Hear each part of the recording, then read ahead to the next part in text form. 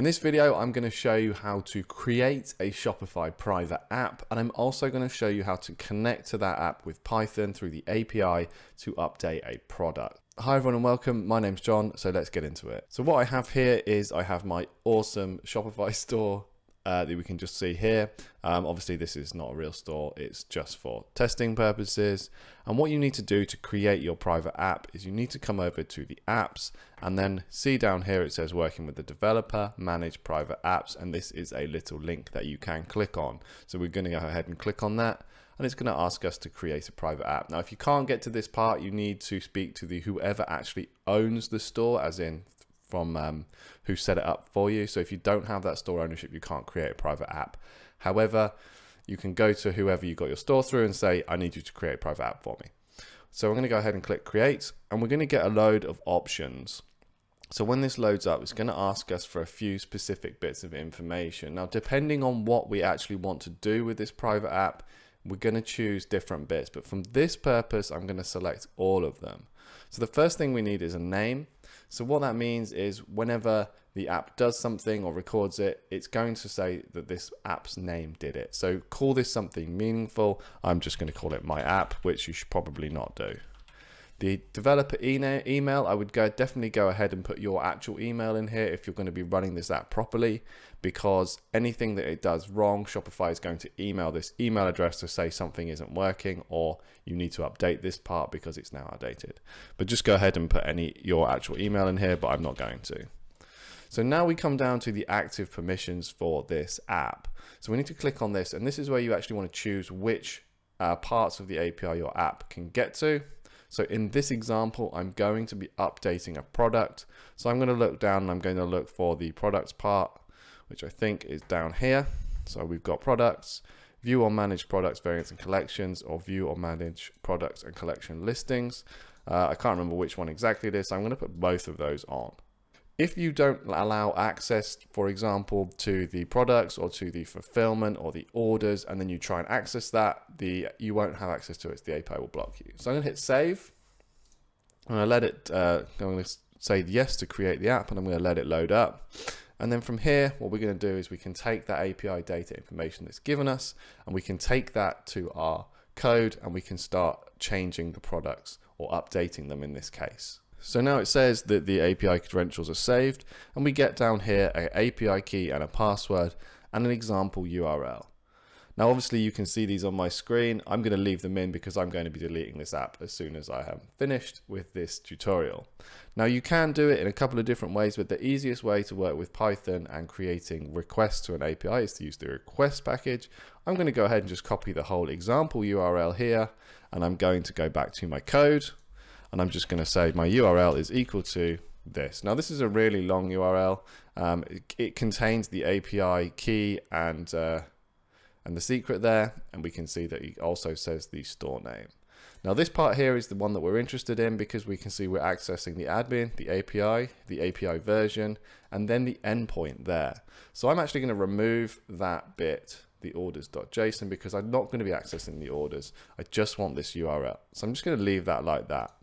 We need to import requests because we need to be able to send requests to this API URL. If you don't have requests installed, you can pip install it uh, with pip install requests. The next thing that we want to do is we need to actually know which endpoint we want to be hitting to be changing our product. So if we go over to the, um, I'm going to go to my products actually here quick. If we go to the, a, the uh, API documents for Shopify, we can see here that we have a get request uh, for the count of products and the list of products. So I'm going to be interested in the list of products because we need the product ID, the Shopify product ID to be able to update it. And then we can see we want to do a put request, including the product ID to update a product. So I'm just going to go ahead and copy this bit out uh, with the, actually we only need the products.json. There we go. I'll come to my code and I'm going to call, I'm just going to write this in real quick. Endpoint is this. So now we have our API key and our URL and the actual endpoint of the API that we want to hit, the products part. So now we need to start writing some code. So I'm going to write a short function that's going to go to this uh, Shopify store and get all the product information. Now, if you've seen any of my web scraping videos, you've seen that I've been able to access some product information via the external, like the API, but this is the actual admin API, so we get all of the product information and we can actually update it. So that's what we want to do. So I'm going to say def for define my new function. I'm just say get products like this.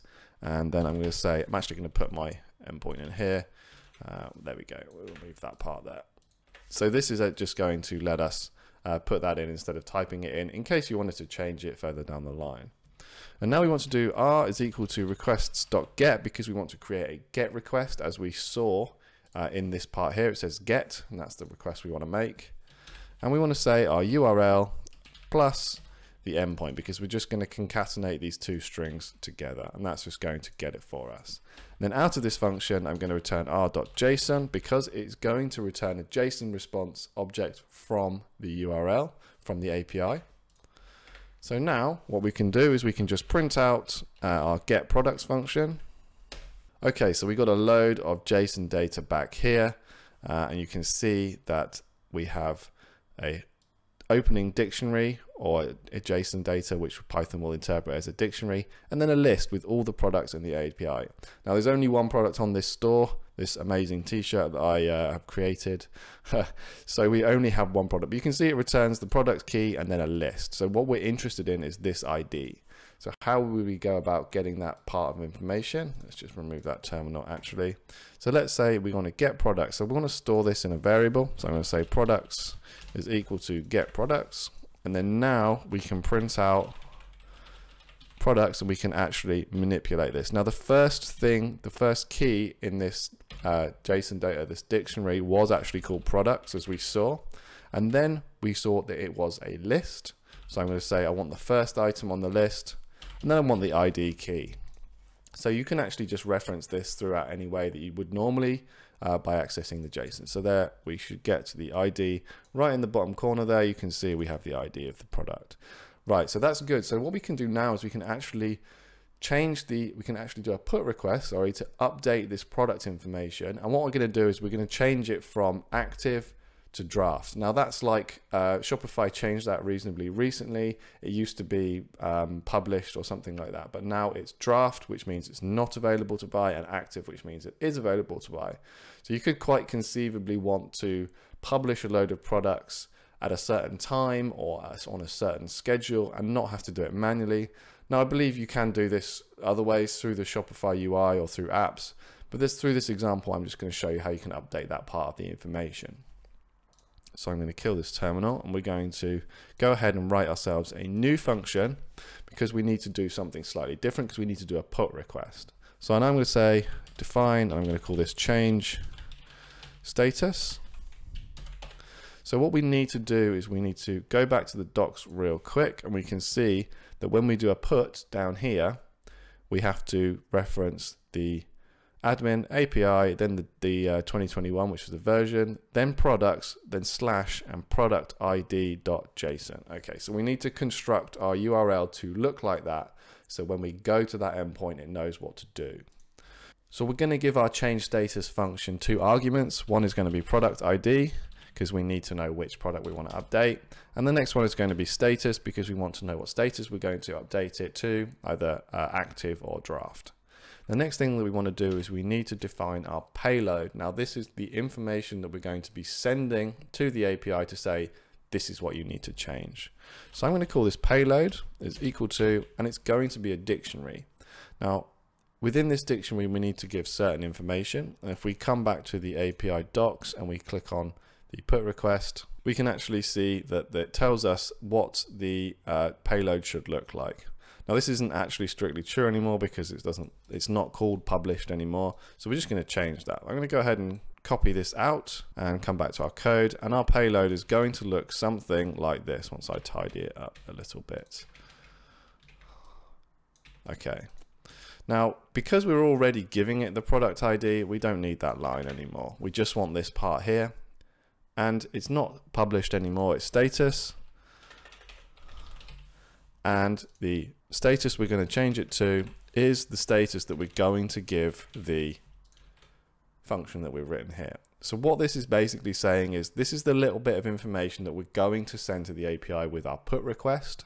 And we're saying this is the product that you want to change because we're going to be hitting the actual complete endpoint for that specific product. And then this is the status you want to change it to. So now we can actually write our request.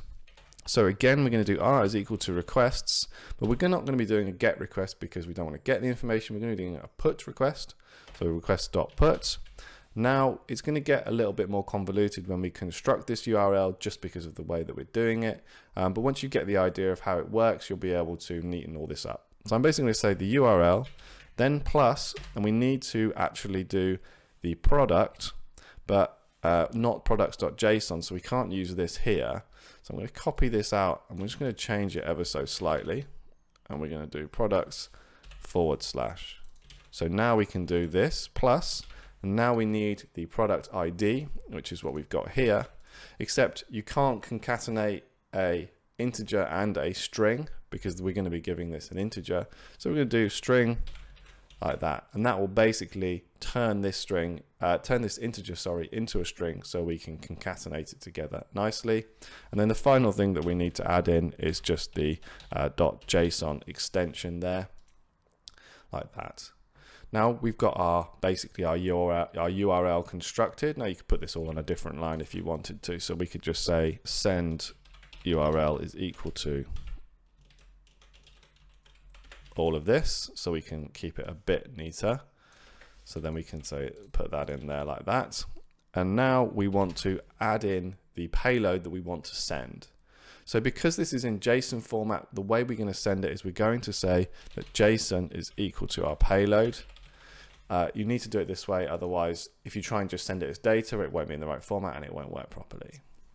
And then we're going to print out the r.json response so we can see if we get an error or if it's worked. And I'm just going to return out of this function.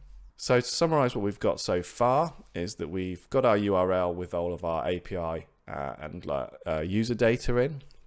We're gonna, we've got our function to get the products, which goes to the products.json endpoint. We saw that earlier. And then we've got our change status, which is taking a product ID and the status. And we've constructed our URL down here based on what the API showed us. Now this is just this way of doing it. And then we do our put request with our payload, changing the status here. So what I'm going to do is I'm going to leave this products is equal to get products in. I'm just going to collapse this function because we don't need that now.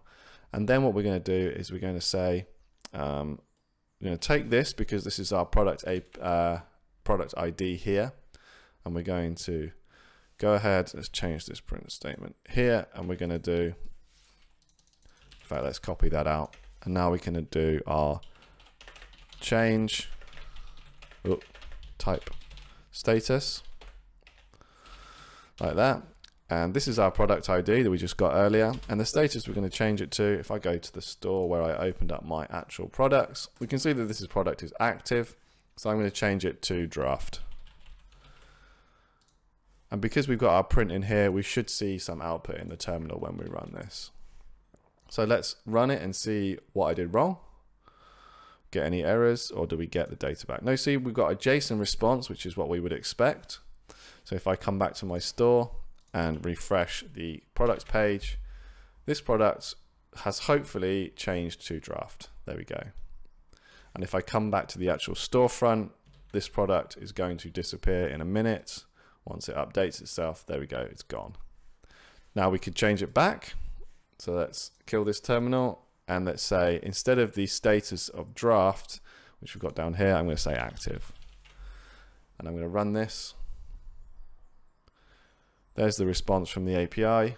And if we come back to the products page and refresh, there it says active and back to the storefront, refresh this a couple of times so it catches up and the product's back. So that's going to do it for this one, guys. Hopefully you've got a good idea now of how you can actually interact with the Shopify API, a private app uh, with Python. It's quite simple. Once you get the idea and you understand how the API works a bit better, you can start to construct more useful tools for Shopify. For example, in the past, I've done things like maybe you have a external third party fulfillment house for your store and you send them your orders a couple of times a week and they send you a sheet back with all of the shipping information, including the tracking. But in Shopify, you have to go through manually one by one and input the tracking details and fulfill. Well, you can do that through the through the API nice and easily, and you can use Python, which is a good uh, programming language to do so, and you can start to construct things that might be useful for your store. I've been John, guys. Thank you very much for watching. I'll see you in the next one. Goodbye.